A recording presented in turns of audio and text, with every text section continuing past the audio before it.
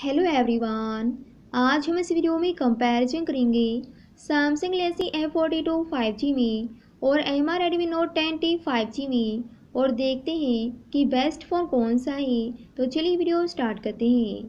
सबसे पहले बात करते हैं डिस्प्ले क्वालिटी से।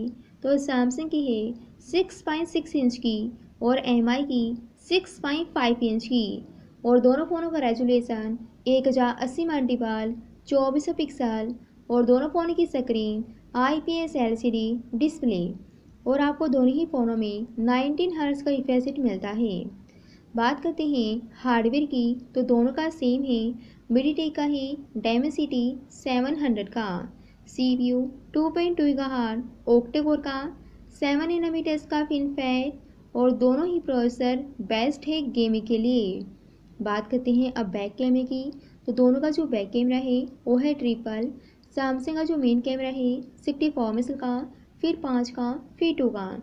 एमआई का जो मेन कैमरा है फोर्टी एट का, फिर टू का, फिर टू का।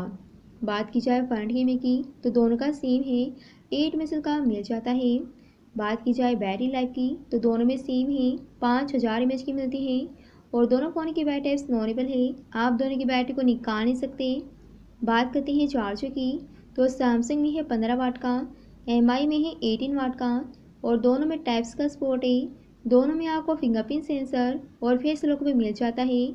दोनों में आपको ट्रिपल सिम मिलती है। दो सिम और साथ में एस कार्ड डाल सकते हो।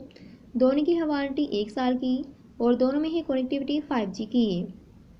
सैमसंग में रैम है छः जी और आठ जी की। एम आई में है चार जी और छः जी की। सैमसंग की मेमोरी सौ अठाईस की।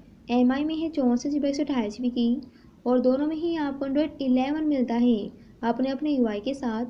बात करते हैं प्राइस की तो सैमसंग का है स्टार्टिंग बीस हज़ार नौ सौ निन्यानवे रुपये एम का है स्टार्टिंग तेरह हज़ार नौ सौ निन्यानवे रुपये तो फिर आपको दोनों फ़ोन में से कौन सा फ़ोन पसंद आया, कौन बॉक्स में, ज़रूर बताना।